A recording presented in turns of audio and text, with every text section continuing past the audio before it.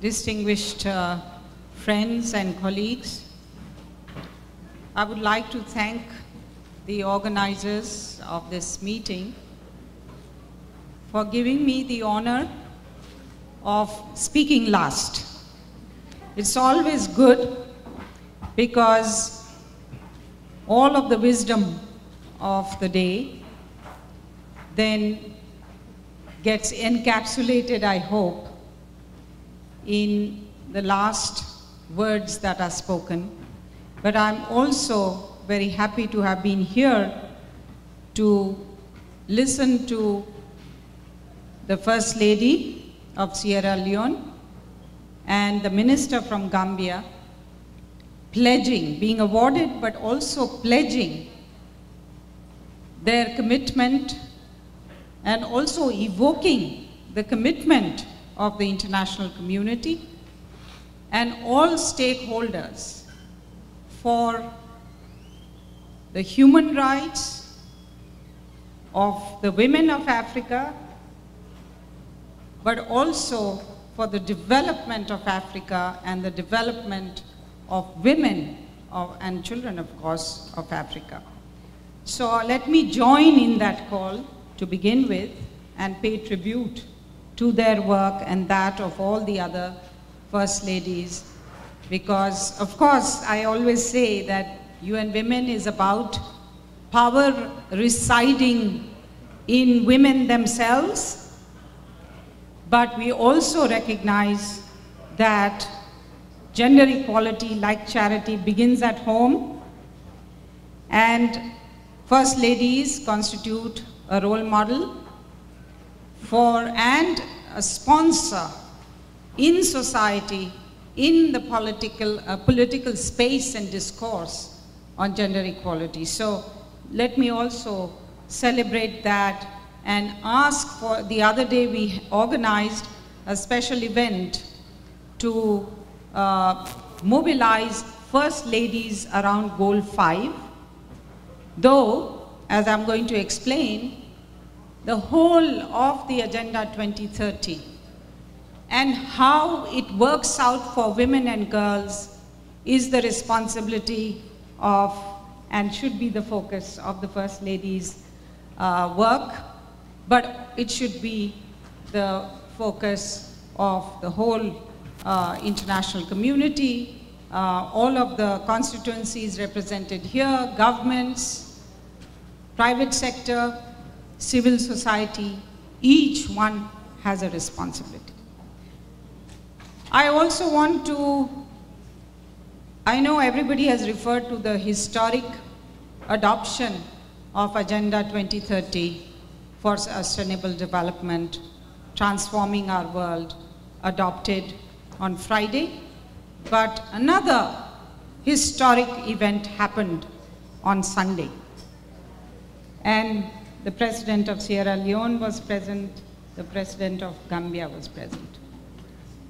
It was for the first time in the history of the United Nations and the world that heads of state and government got together to make commitments on gender equality and women's empowerment.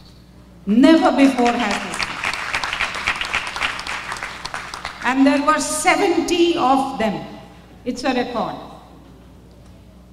And this meant that gender equality and women's empowerment has now come on the top of the political agenda from where it was relegated to the side or to the bottom.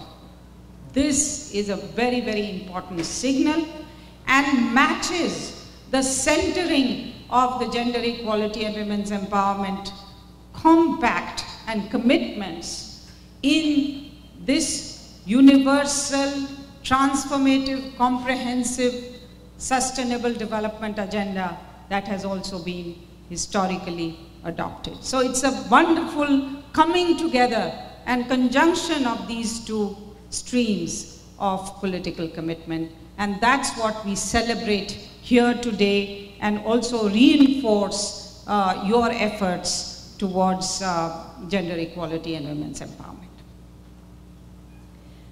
I want to also say what is different, uh, you know, to focus a little bit on what is different in this agenda for gender equality and women's empowerment. We had an MDG3 about, it was about promoting gender equality and women's empowerment. And it had some very limited targets and it was not mainstreamed throughout the other MDGs.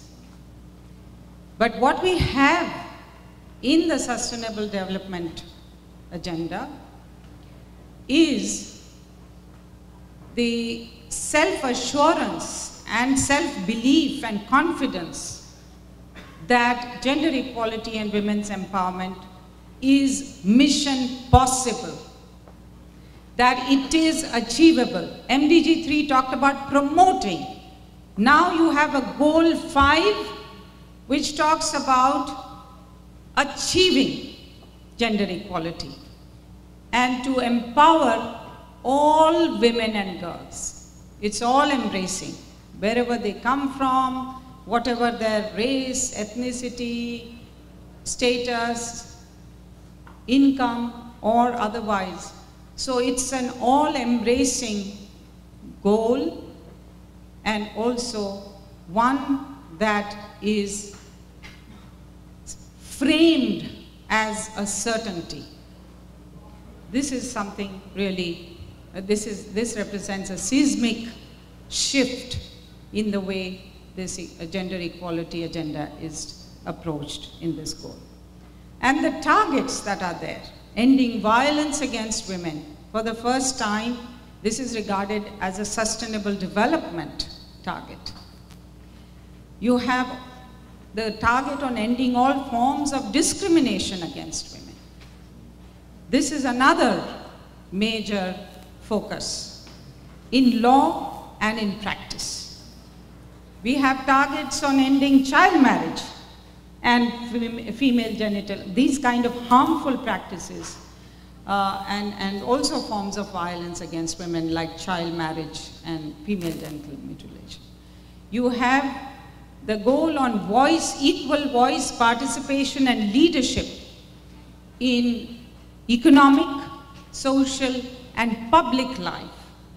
Earlier MDG 3 only talked about parliaments, but this is about not only parliaments and at all levels it's not only about parliaments, but it's also about the executive, the judiciary, public service, all aspects of public life, companies, the, the economic sectors.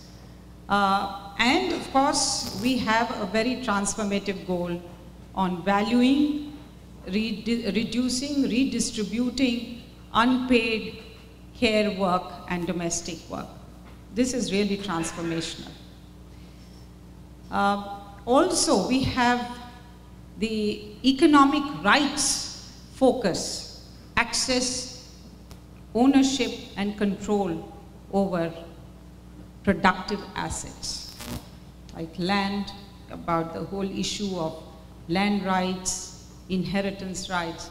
So it's, it's really uh, comprehensive and transformative, and this is something that will need to be achieved within a generation. A recognition that things have moved too slowly, that we cannot wait another century, that within a generation, we now need to get on uh, with uh, making discrimination, violence against women, and inequality history. When we meet here in 2030, we should be able to say that this was all in the distant past. And for that, we have to begin today, as we are all doing.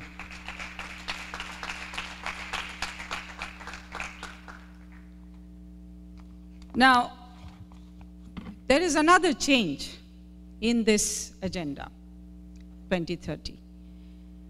That, yes, the member states, the governments are the primary duty bearers and they have to deliver on this but they cannot do it alone. They are not the only actors in the economic, social, and polit even political uh, space. And therefore, the role of the private sector. I want to particularly refer to what work UN Women is doing. We just had on 26th um, September a public, uh, a private sector leaders and philanthropy leaders forum co-chaired with Jack Ma of Alibaba and Melinda Gates. And this was an attempt to engage these leaders and beyond, the whole private sector and uh, the philanthropy sector in the implementation of Goal 5. And we got a tremendous response. And this is just the beginning, because really, as we have been advocating, and many of you already are aware and perhaps part of the women's empowerment principles that over 1,000 global companies have signed on to, that it must become, and it has been now embedded into a commitment in the financing for development outcome in uh, Accra, uh, in, in Addis. So this is something that uh, companies undertake to promote gender equality and women's empowerment within their own companies in the marketplace by sourcing from women-owned companies or women entrepreneurs, but also by supporting women and their empowerment in the community. So this is a pledge that I call upon the private sector also to take in order to not only put forward and advance and implement Goal 5, but all of the other goals. Civil society. There is going to be um, implementation framework, we hope, in each country, including, by the way, developed countries. I saw an editorial in New York Times which analyzed Agenda 2030 as if it is another MDG which is only for developing countries. It is not. It is a universal agenda. So everyone will have to establish frameworks for implementing it. Everyone will have to change. Nobody is going to be perfect, found perfect at this point of time, so they don't need to do anything. No, eh, it's not business as usual. It's not finance as usual. It's not the ecology as usual. It's not the planet as usual. There has to be a huge paradigm shift in every country. So that will require a very strong people's movement because politicians, with due respect to those who are present here, don't change easily. But they have pledged to be held accountable to their citizens. So citizens' movement people's movement must come together to hold, first of all, engage in the follow-up and review process that member states have committed to, but also they must hold uh, their governments accountable for the implementation of this and be part of the implementation of this agenda. And I would also like to emphasize in that context two campaigns that UN Women would like you all to join. That's the campaign we started on at the political level, but it should be at the people's level, private sector, everyone is joining. Uh, that is Planet 5050 by 2030. Step it up for gender equality. That's one campaign. The other campaign is, I'm sure, very well known to you. That is the He for She campaign. Where, and I'm so happy to see so many men here because we want you to join the He for She movement. Many of the presidents have joined, including uh, the presidents uh, of, of Sierra Leone, Rwanda, many others. And we have, in fact, 10 impact champions, ranging from the president of Indonesia and Japan, and um, uh, as I already mentioned, the two others. So we have uh, a whole movement in which political leaders, CEOs, 10 CEOs, and 10 university presidents are the first impact champions who are going to show the way.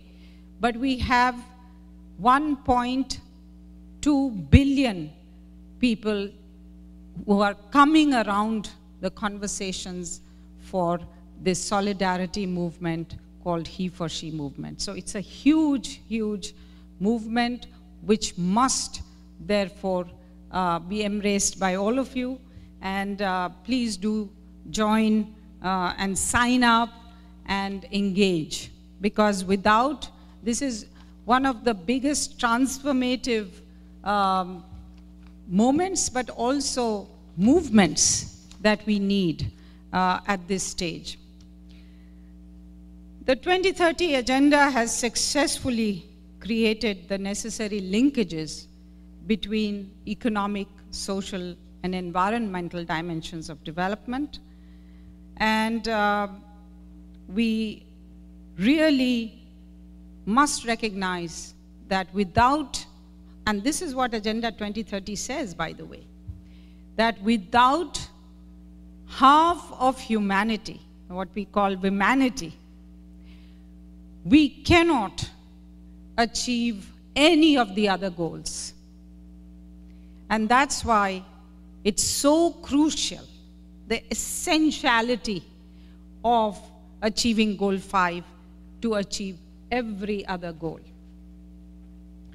So, I, with these words, I would once again thank all the organizers and uh, call upon all of you to adopt the Agenda 2030 as both a personal as well as a social commitment, whether you are in your individual capacity, but also in your capacity as um, in the private sector, in government, and really make sure that we reach that destination, that we indeed make this mission possible of Planet 5050 by 2030. Thank you very much.